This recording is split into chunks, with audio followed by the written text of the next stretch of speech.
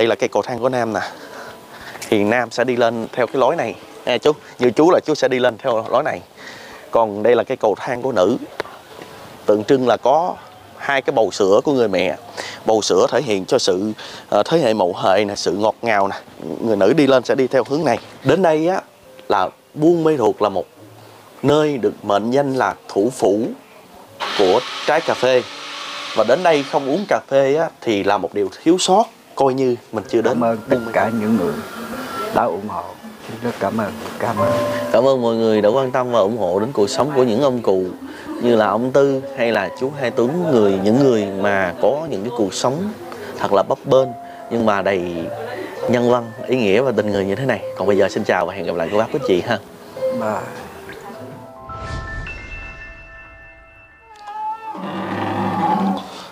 Rồi. À, dạ Bùi Hồ xin chào cô bác quý anh chị. Hiện tại Bùi Hồ và chú Tuấn đang có mặt tại à, thành phố Buôn Mê Thuột thuộc à, tỉnh Đắk Lắk Một trong những cái tỉnh ở vùng đất Đại Ngàn Tây Nguyên.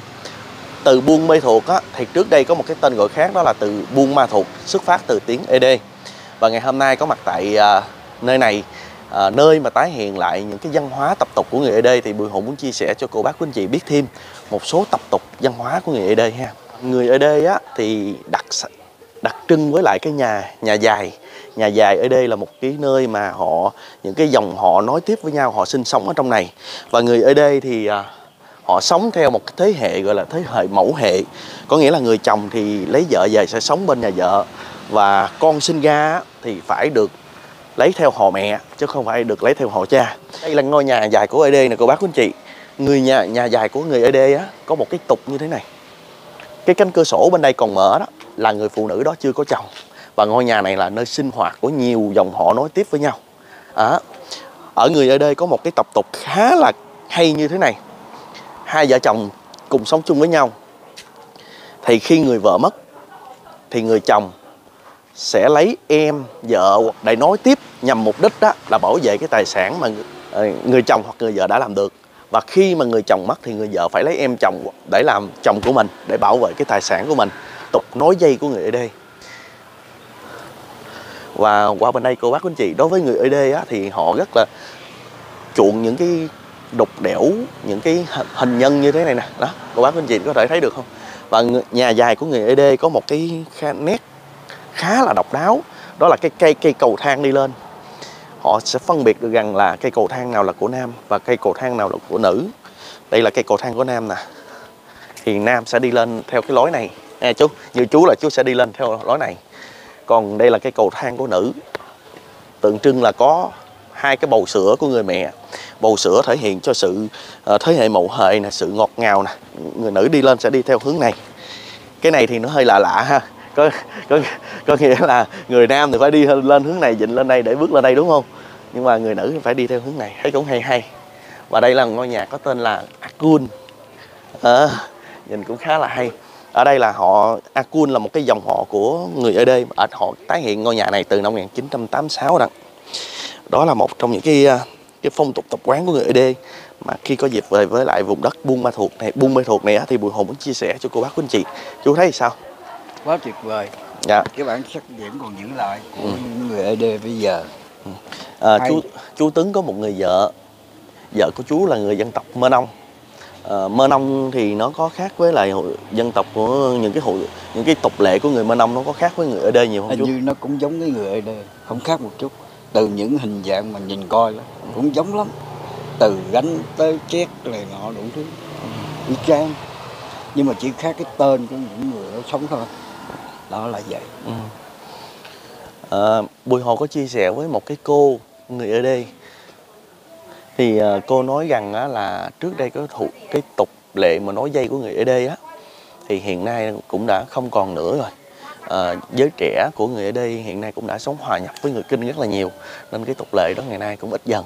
Ngoài ngày xưa thì à, cha mẹ đặt đâu thì con ngồi đó còn bây giờ là chuyện nợ duyên là chuyện của con cái tự lựa chọn những người bạn đời của mình qua đây nha cô bác anh chị. Đây là những cái chiếc thuyền ờ, chiếc thuyền độc mộc á. À, những cái chiếc thuyền độc mộc họ tái hiện lại những cái cuộc sống sinh hoạt hàng ngày. Còn đố cô bác anh chị có thể biết đây là cái gì đây? Đây là những cái ché rượu những cái ché rượu. Thì người ta những cái dịp mà lễ hội á lớn á người ta sẽ dùng những cái ché rượu lớn như thế này còn những cái lễ hội nhỏ nhỏ trong gia đình chẳng hạn, như là mừng lúa mới hay là người ta sẽ dùng những cái chén rượu nhỏ như thế này. Và người ED họ rất là thích uống rượu cần. Đây là những cái hình nhân mà họ tái hiện lại nè, những cái sinh hoạt đời thường như họ cầm một cái rìu vậy nè. Đó, đây là một người à, người chồng đang cõng con mình ở trên vai. Đó họ tái hiện lại những cái sinh hoạt nếp sống hàng ngày. Còn phía bên đây là cái chiếc thuyền à, độc mộc. Đây là cô bác anh chị, chiếc thuyền độc mộc của người ED một lần về Buôn Ma Thuột thì mình sẽ tìm hiểu và giới thiệu cho cô bác, quý chị biết luôn. Ở đây là những cái nhà dài mà đúng theo phong tục của người ở đây luôn, chứ không phải là họ tái hiện lại một cách sơ sài đâu. Mà người chủ nhà này là, vẫn là một người ở đây luôn nha. Và người ở đây họ rất là thích trang trí khánh tiết trên những cái cái cái sờ gông của họ mặc các cô bác, quý anh chị. Những cái khánh tiết, hình tam giác, hình vuông đồ họ quấn nhìn rất là đẹp. Và đặc biệt người ở đây họ dệt thổ cẩm rất là hay luôn. Và khi đến đây á họ sẽ không những là họ họ làm lại cái cái cái nét văn hóa bảo tồn lại cái nét văn hóa của người ở đây mà họ còn cho thưởng thức những cái món đặc sản của người ở đây. Và đặc biệt là những cái món mà cái tên rất là lạ mà Bùi Hồ được một cái cô chia sẻ con đến đây thì nên ăn đặc sản của người ở đây. Chú à, thấy như thế nào? Quá tuyệt vời cái bản sắc đây cái cửa sổ này còn mở. Nếu như người nhà ha thì cậu cửa sổ này còn mở đó chính là người phụ nữ đó chưa có chồng. Khi nào cái cửa mà nó đóng lại là người phụ nữ đó đã có chồng rồi. À, và người ở đây họ cũng rất trọng về cái không gian bếp. Họ mỗi một cái gian nhà như vậy thì sẽ có một cái ờ, cái bếp. Cái bếp để họ quay quần họ sưởi ấm. Tại vì đa số là ở đây là vùng cao. Cũng rất là hay ha. Cái này cây nọc tiêu cây nọc tiêu Nọc tiêu. lâu đời lắm rồi cái cảm giác thế nào khi mà quay trở lại vùng đất này ha chú ha nếu mà cảm giác mà quay lại về đây nó nó rất rất là bỡ ngỡ mà rất là vui đầu Ừ. tiên nó thay đổi quá nhiều bây giờ nhìn lại cái bản chất bây giờ thấy nó rất là vui ở đây á, thì à, rất là nhiều dân tộc cùng à, sinh sống với nhau như là dân tộc Sơ Đăng nè, dân tộc Mơ Nông, dân tộc Hơ Mông, dân tộc ED. Nhưng mà cộng đồng người ED ở đây là họ chiếm phần đông hơn so với những cái dân tộc khác. Ngay tại thành phố Buôn Mê Thuột nha cô bác quý anh chị. À, ở đây họ đều tái hiện lại rất là mọi thứ nó rất là chi tiết và rất là hay luôn. Và chắc có lẽ thì à, Bùi Hồ sẽ đi đến đâu chia sẻ cho cô bác quý anh chị đến à, đó cho cô bác quý anh chị hiểu thêm ha. Còn bây giờ thì à, hết buồn chưa chú? hết buồn rồi nhìn lại cái cái cái những như tái hiện trường như vậy đó, y chang thật sự người Ede hay người Mông nó giống y chang là người người Bắc người Nam người miền Tây người Quế người Trung vậy đó. Nhưng mà ngày xưa là Ừ. con của chú là lấy theo họ vợ họ vợ của chú hay là lấy theo chú họ chú? Đó thì chú không biết thiệt. Ừ, không biết đâu. Không biết luôn. Ừ, cái đó là không biết.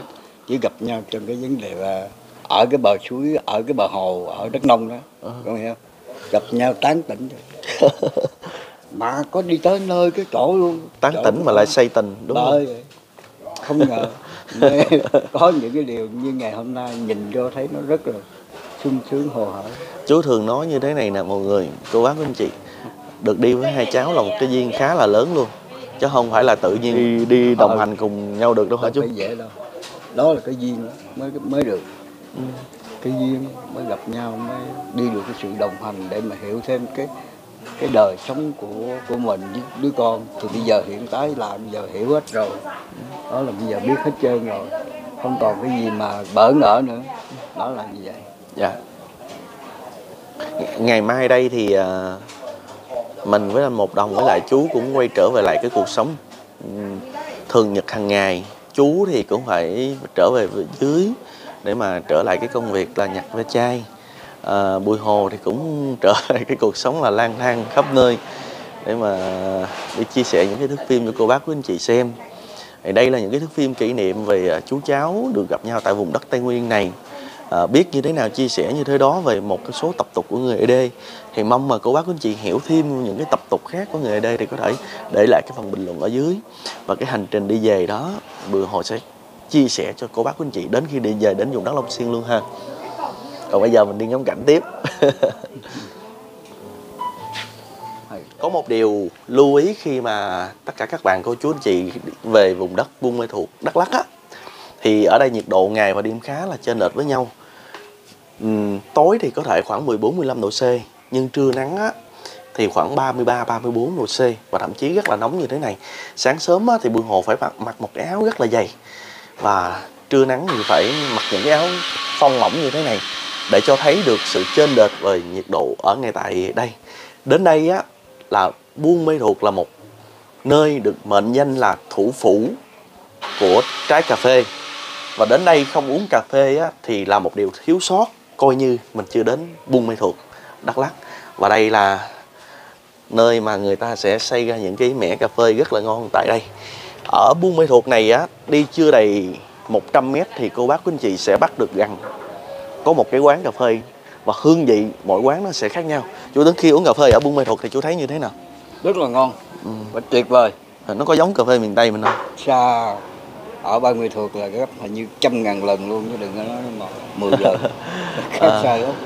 Cái Có- cái mùi cà phê nó rất thơm nó làm hòa quyện trên cái lỗ mũi là nó thơm lắm. Hay. Có có một cái cà phê mà sáng nay chú uống mình không có nói cái thương hiệu nữa ra mà chú uống xong chú chẳng còn tiếc tiền chú nói gì nè cô bác quý anh chị? Ly cà phê này là chú làm chú nhặt phải que chai khoảng 2 đêm. Ở một ly 65 ngàn ba chú cháu uống 3 ly là 195 ngàn chú vừa uống vừa tiếc hồi hồi á. Bùi hồ nói uống bây giờ còn cục nước đá cũng phải uống luôn ha chú? Ha chú cười. Nhưng mà lên đây thì mình chú cảm thấy mình có phí không? Phí thì không phí. Không cái gì gọi là phí hết. Quá tốt. Chưa chắc có đồng tiền mà mua được hay hoặc là đi được như thế này. Đó là điều đúng luôn chứ không nhưng mà mình đi thì mình cần phải cần có tiền. Đúng. Ừ. Đấy, à, trong đời của chú thì được bao nhiêu chuyến đi như thế này rồi? lần đầu tiên. Lần đầu tiên, Lần đầu 76 tiên. tuổi lần đầu tiên được chuyến đi như thế này. lần đầu tiên đi với những người mà hỗ trợ cho mình như vậy. Lần đầu tiên. Chứ hồi đó không có. Không có. không có thật sự. Là Lần đầu tiên ngủ nhà trường, lần đầu tiên uống cà phê Tây Nguyên ờ, ở vùng đất Tây Nguyên. Và lần đầu tiên được cảm nhận bữa ăn gia đình như chú đã chia sẻ với con lần đầu tiên uống một ly cà phê 65 ngàn. Lần đầu tiên luôn Lần đầu chứ tiên. hồi đó là uống ly cà phê chừng chừng hai ba ngàn năm sáu ngàn thôi là mắc lắm rồi Con cũng lần đầu tiên uống ly 65 ngàn luôn ha chú. Ờ, thôi bây giờ mình sẽ đi ra đây ha. Cuối cùng, chú cháu mình có mặt tại Tây Nguyên rồi trở về lại cái vùng đất ờ, cũ để mình trở lại cái cuộc sống thường nhật hàng ngày cái, cái cảm giác của chú á không tìm được con nè thì à, bây giờ trong lòng của chú á à, như thế nào có thể giải tỏa cho mọi người biết được không chú? Thật sự ra khi mình bước vô những cái nơi nhà làng này rồi cảm thấy là vui. Mặc dù rằng là mình kiếm con rất là mong manh nhưng mình nhìn lại những cái kỷ niệm này mình rất là thấy vui mừng. Xa cách bao nhiêu năm trời của một người vợ mình. Quá cố rồi. Để đi tìm con nhờ được cái động lực để các con đưa chú đi. Chú cảm thấy rất là vui sướng. Mặc dù là thì một đứa con rất là mong manh. Hôm nay là tới nhà làng này, tất cả những cái gì mà mình thấy được, những hiện tượng, làm cảm thấy rất là sung sướng. Cảm ơn chú coi như là hình như là mình muốn sống lại thêm một mấy tuổi nữa. Để mình nhìn lại những hình tượng xa vời mà cách đây biết bao nhiêu năm trời nếu tính ra cũng gần 50 năm, nửa thế kỷ. Đó, những cái tướng, á của chú như vậy thôi. Cũng sắp sửa rồi. Cũng ra đi rồi. Nhưng mà hôm nay tới những cái vùng đất để gọi là vùng đất hứa này. Hứa để mình tới, mà thiệt, tới thiệt vùng tới hứa. Ờ vùng đất hứa hứa mình sẽ đi tìm kiếm con. Mà bây giờ cái vùng đất hứa mình đã tới rồi. Rất là vui mừng. Tất cả cũng nhờ hỗ trợ của những người giúp đỡ cho chú. Chú rất cảm ơn nhiều. Chú thường nhắc hay nhắc rằng á là ngày xưa là bản làng của vợ chú á là di chuyển bằng voi hoặc là đi bằng voi và hiện nay chú có nghe kể người ở đây kể rằng là cái việc bắt voi á những cái sợi dây thần bắt voi á thì chú có cảm tưởng về cái cuộc sống ngày xưa không? nói mà về cái dây mà để tròn cổ bắt voi á, cái đó đó thì mình chưa biết thiệt nhưng mà cái sự sống của ở làng cũng có là đúng đó đúng luôn nhưng mà chú nghĩ là cũng có một cái điểm nữa là nó còn có cái ghế để ngồi ở trên cái ghế mây ngồi trên. Ở trên con voi ha chú? Đừng cỡ voi. ngồi trên cỡ voi cỏ voi. Dạ. Nó cũng giống như mà người mà người giàu người nghèo người giàu đi xe hơi. Dạ. Thì cái bộ tộc đó là giàu có Giàu thì có voi. Ừ. Cũng Mà- như có sức mạnh có địa vị gì vậy đó. thì Thuần được con voi đó. Ừ. mới đi làm rẫy làm buôn vậy đó. Cũng như có người người Việt mình giàu có thì ra có xe mới cài cài đất lên còn nghèo á thì lấy lấy cuốc cuốc. Để ý nghĩa của chú là nghĩ như vậy. Dạ. nhưng là ngày hôm nay những cái sức tưởng tượng của chú bây giờ mới hiểu được tất cả những gì đều là đúng sao sự thật của những người mà là ngày đêm người ta nói.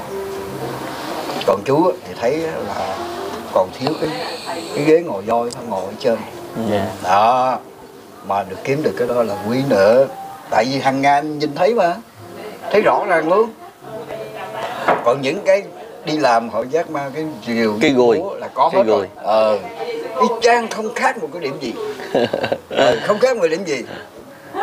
Khi một mà cái đứa diều vậy thôi mà chặt cây ngã lấy vô kéo ngã xuống cây rồi. Họ làm ra những cái nơi là làm nông nghiệp với ba trồng lúa đó là chú trở về bản làng của ED thì à, chú nhớ lại cái ký ức mà ngày xưa à, từng sống chung với à, vợ của chú là người à, Mơ Nông. Ừ, là đâu ừ. đúng y chang. Iran luôn hả y chú? gan luôn. Chỉ có khác nhau là người bắc người trung người quế vậy đó. Y chang vậy đó. Dạ. cũng như người miền tây vậy đó. Hiểu không? Dạ. thì đó là cũng phân biệt ra người bắc người trung người quế rồi à, người quảng trị người miền tây là người kiên giang. Thì ở đây cũng giống như chang Văn hóa mỗi cái vùng miền thì Ờ, nó mỗi khác nhau. Ờ, nó khác nhau. Nó những có cái đặc trưng và cái hay riêng. Ừ, đó. Không nơi nào giống nơi nào cả. Miền sông nước thì tập quán nó khác. Đúng. Ở vùng đồi núi thì tập quán lại khác. Mà cô muốn chia sẻ cái câu chuyện như thế này. Cuộc hành trình nào nó cũng phải có lúc kết thúc. Ừ và để có bắt đầu cái cuộc hành trình đó, nó phải có một cái động lực rất là lớn. Và chú thường chia sẻ rằng là để có được cuộc- hành trình này đối với chú nó không đơn giản. Nó không đơn giản là một cái chuyến đi trải nghiệm bình thường mà đó mà nó là một cái cuộc hành trình để tìm về kiếm con mình. Thì con muốn hỏi chú cái cảm giác của chú á. Sau cuộc hành trình này thì nó để lại trong chú nhiều ký ức không? Và nó đã giúp cho chú thực hiện được cái ước mơ đi tìm con nó gần mãn nguyện chưa? Thật lòng á thì nói những cái phong sách về vậy là bước vô cái nhà làng vậy á là đúng cái trang hết rồi. Không khác chút gì đâu. Đúng y kinh không khác một cái điểm gì. Nhìn lại những cái bản sắc mà hiện tại nhìn thì cảm thấy cái lòng con người của mình cái là vui sướng. Được bao nhiêu năm chờ giờ quay lại như thế này, một cuộc hành trình đi gian nan mấy trăm cây số không phải là một cái số gì đâu. Nhờ sự hỗ trợ của mạnh thường quân cũng như hai con đây. Đi về là chú mãn nguyện lắm. Rất là vui vẻ mà rất là tự hào cái tuổi mình như vậy là mình đã bước tới đây. Không ngờ luôn. Thật sự là không ngờ. Một cái niềm vui nhất của chú là như vậy là vui lắm rồi.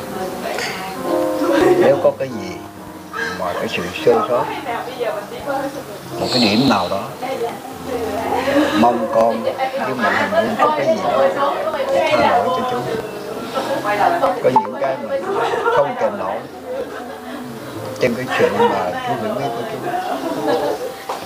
thật ra thì uh, sơ sót thì uh, không phải gọi là sơ sót mà cái chuyến đi của mình anh một đồng nó chưa được trọn vẹn một trăm phần trăm thôi. Nếu như gặp được con chú á, thì một điều gì đó nó rất là viên mãn cho cái quãng đường còn lại của chú. Còn bây giờ không gặp được thì cái cái di nguyện cái cái tâm nguyện của mình á muốn gặp muốn tìm lại miền đất hứa gọi là miền đất hứa theo chú nghĩ thì đã cũng đã được thực hiện rồi. Thực hiện rồi. Mọi chuyện gặp hay không là do một cái duyên lành do ý trời sắp xếp nữa chứ không phải muốn gặp là được. Đúng không anh anh một đồng? Đúng rồi. Đúng rồi. Chính xác. Có duyên mà gặp lại không có là duyên mà gặp lại con mình đâu. Mà như vậy cũng như là mình đã gặp rồi đó. Mà trước mặt mình luôn mình cũng không biết. Không phải chuyện đơn giản có nhiều cô chú anh chị nói rằng là tại sao chú không uh, con với chú không lên công an phường hay là già làng hay là trưởng thôn? Thằng ở đó nó rất khó rất khó luôn. Tại vì những thông tin của con chú á nó gần như là mất khoảng tám chín mươi phần trăm chỉ còn nhớ được cái tên nhớ ngày mà chú về thôi. Còn ba vợ chú cũng không nhớ nè. Không nhớ tên là nhớ tên vợ mà vợ lại mất lúc đó cũng còn khá là trẻ nữa. Thì làm sao để mà tìm con con con chia sẻ thật với chú ha. Con là người thừa biết rằng đi lên đây sẽ không tìm được. Nhưng mà con không bao giờ con nói với chú. Đến thời điểm này con mới trao đổi với chú. Con thừa biết rằng chuyện đó. Con muốn đi với chú vì à, đối với bản thân con. Tuổi của chú rất là cao rồi. Và cái tâm nguyện của chú gần như là cái di nguyện gần cuối cuộc đời là chú trở về đây. Thì con và cùng tất cả mọi người sẽ giúp chú thực hiện điều đó. Chắc có lẽ là sau đoạn clip này á, thì uh, cô chú anh chị mọi người có thể là thất vọng về cái hành trình mình hành trình của chú cháu mình. Nhưng mà để giúp một người nào đó thực hiện một cái tâm nguyện gần cuối đời nó khó lắm. Có những cái tâm nguyện mà chỉ cần một lần duy nhất mà nếu như mà không thực hiện được thì không bao giờ thực hiện được. Chú có nghĩ như vậy không? Có đúng rồi. Không phải dễ được đâu con những cái lứa tuổi như chú nào, cái giọng ước mơ của chú rồi biết rằng đi tìm con chưa chắc là được mong manh lắm, nhưng mà chuyện đơn giản. Chỉ có mình hiểu được mình, không ai hiểu được mình đâu. Nhưng mà cái nguyện vọng, ước mơ của mình đã có hiện thực. Rất mừng, mà rất vui. Khi bước lên cái vùng hồi xưa mình đã là đây, cách đây 50 năm cái diễn tả con người rất khó khó diễn tả chỉ trong tim, mình nổi bật lên những điểm gì, mình ước mơ, nó đã có sự thật hết rồi. Còn cái chuyện mong manh đứa con phải nói thú thật, không phải dễ tìm nó không phải chiếc tưởng tượng mà hồi xưa mình nghĩ nó là hai bên riêng rừng là nơi cái chỗ như vậy. Rồi mình lên sẽ gặp không phải. Bây giờ cái nơi này nó hoành tráng quá, nó khác hẳn hết nó phồn thịnh lắm.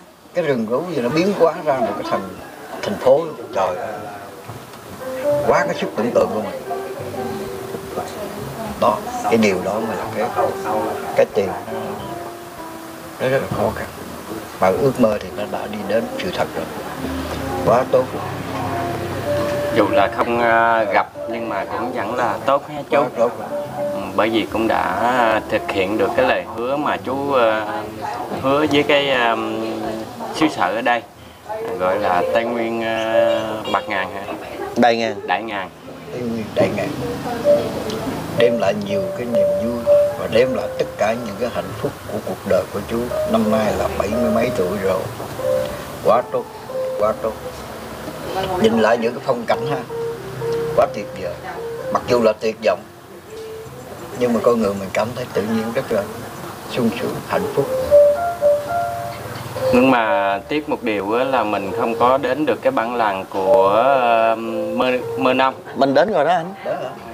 Không. mình đến rồi đó. Mình đến mình đến cái bản làng đó đó nhưng mà không gặp được người mơ Ờ. nông á. vẫn gặp người mơ nông luôn nhưng mà nó thay đổi quá anh hiểu không? À. Những cái phong tục tập quán họ không còn giữ nữa. À, à, mà họ sống nhịp sống bây giờ đang rất hiện đại lên rồi đang hòa nhập với người người kinh rồi anh hiểu nó không? trở thành một cái thành phố.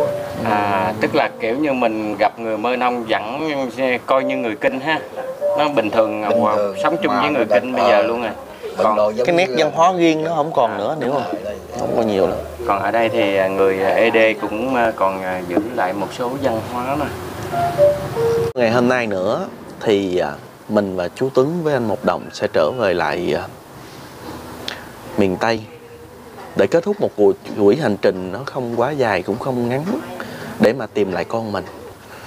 Ờ, cũng xin chân thành cảm ơn tất cả cô bác quý anh chị đã theo dõi suốt cái hành trình của các anh em cùng với lại chú Tuấn à, Bùi Hồ biết rằng là tìm không được nhưng mà phải giúp chú thực hiện những cái tâm nguyện cuối đời gần như là cuối đời của mình. Cũng mong rằng á, những cái chuỗi video clip này á cho cô bác quý anh chị biết thêm một vùng đất Tây Nguyên một vùng đất uh, coi như là khúc ruột của Việt Nam thì uh, xin chân thành cảm ơn tất cả các bạn. Cô chú anh chị đã hỗ trợ đồng hành cho Bùi Hồ trong những cái chuyến đi như thế này. À, ngày mai này sẽ về sẽ về lại miền Tây và trở lại cuộc sống hơn nhật hàng ngày. Để mà ừ, quay lại những cái cuộc so những cái chuỗi video đôi clip mới thì cũng nhân tiện đây ngay tại vùng đất Tây Nguyên này. Bùi Hồ xin chân thành cảm ơn cô bác quý anh chị đã luôn ủng hộ đồng hành cùng kênh của Bùi Hồ cũng như là anh Một Đồng xin chúc cô bác quý anh chị sức khỏe, an lạc và gặp nhiều may mắn trong cuộc sống. Và bây giờ thì chắc có lẽ là chú Tuấn sẽ nói những lời cảm ơn đối với những người đã hỗ trợ đồng hành cùng chú cháu mình trong những chuyến đi như thế này ha. Dạ. Xin rất cảm ơn tất cả những mạnh thường quân đã hỗ trợ cho chú. Một cái tấm lòng rất là sung sướng, nguyện vọng đã đạt thành công. Quá thành công, mặc dù không tìm được con. Đi tới nơi tới chốn tới những cái vùng đất mà đã có sống tại nơi đây tôi cũng rất cảm ơn tất cả những người đã ủng hộ xin rất cảm ơn cảm ơn Cảm ơn mọi người đã quan tâm và ủng hộ đến cuộc sống của những ông cụ như là ông Tư hay là chú Hai Tuấn người những người mà có những cái cuộc sống thật là bấp bênh nhưng mà đầy nhân văn, ý nghĩa và tình người như thế này. Còn bây giờ xin chào và hẹn gặp lại cô bác quý chị ha. Bye.